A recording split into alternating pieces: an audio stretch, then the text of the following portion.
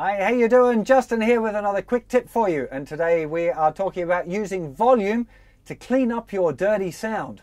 Now, the volume I'm talking about isn't the actual volume, it's the volume control on your guitar.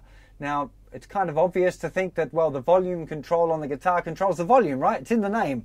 Seems pretty obvious. But when you're using distortion, the volume control for the first part doesn't seem to alter much in the volume department, but it does alter stuff in the gain department. So I'm using here a Suhr Badger 30 with a little bit of gain on the amp and uh, Analog Man King of Tone pedal.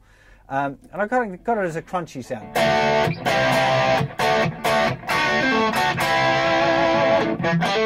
It's not real heavy, but uh, you know, heavy enough. But if I just back that volume off a little bit to like six and a half, seven.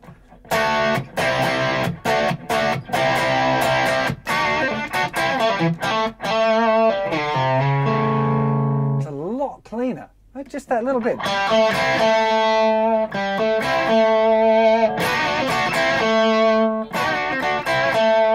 You still of, it's almost the same volume. It's not quite, right? Almost the same.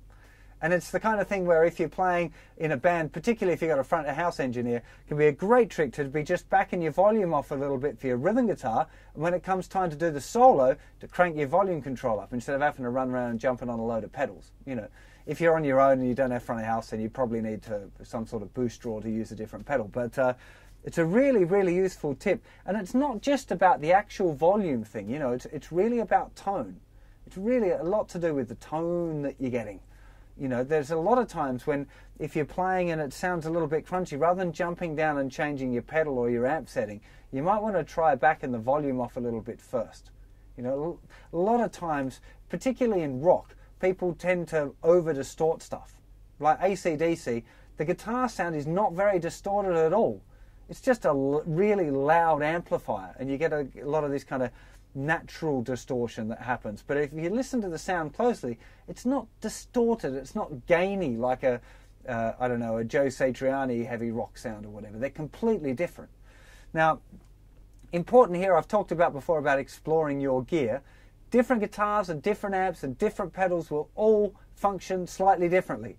So, like Gibson guitars have got a quite a different effect when you turn the volume down. They don't seem to drop as much as quickly, and then it seems to drop off a little more sudden, right? So, mm. for Strats kind of work good for this. Different amplifiers will work different, and different pedals will have a it'll have a different effect depending on what pedals you've got on. So, this is the kind of thing you need to explore on your gear like I've said to you on this strat, it's like six and a half, seven is where you get that kind of nice break off and it's not dirty anymore. Uh, it's not as dirty. It's kind of a bit cleaner and kind of crunchy sounding rather than dirty sounding. Um, but it's different on all, all, the different guitars. So it's worth exploring on your instrument and seeing how it affects your sound. Uh, I hope that helps you with your tone journey. I'll see you for lots more lessons very soon. Take care of yourselves. Bye bye.